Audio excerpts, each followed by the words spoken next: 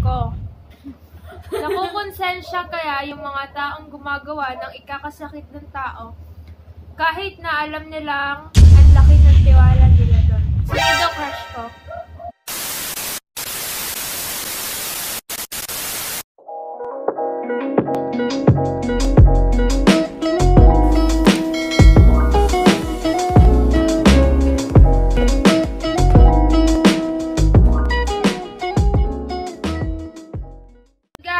Jessie and for today's video, I'll be doing Q&A vlog again.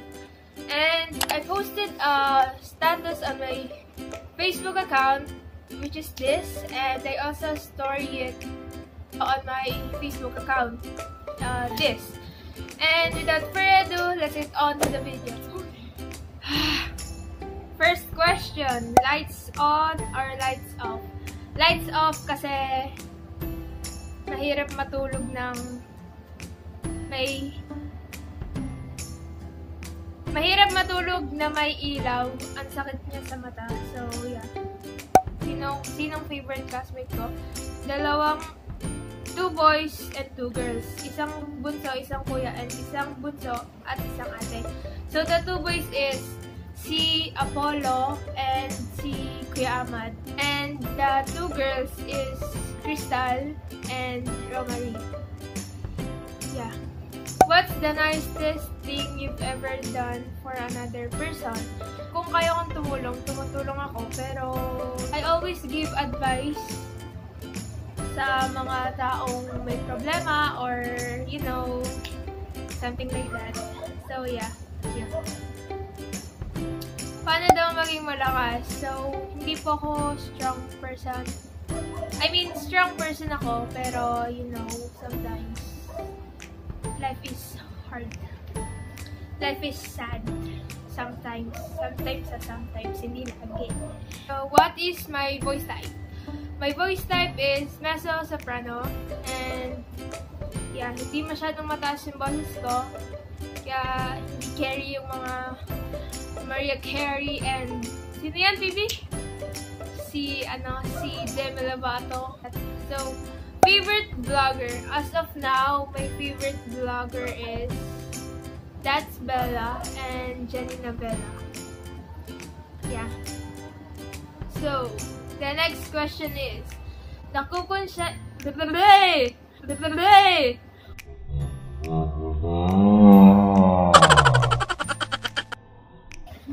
Nakukonsensya kaya yung mga taong gumagawa ng ikakasakit ng tao kahit na alam nilang ang laki ng tiwala nila doon.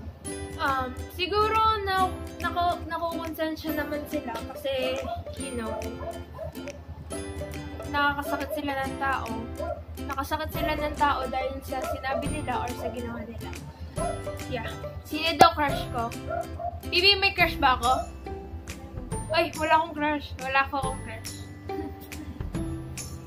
so, the next question is, bakit pag may problema kami, lagi kang nandyan para sa amin? Because that was best friend do, like that.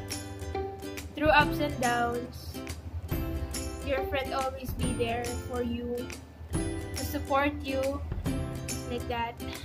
Yeah. That's all for today's video. Please like, share, and subscribe. And don't forget to follow me on my social media accounts.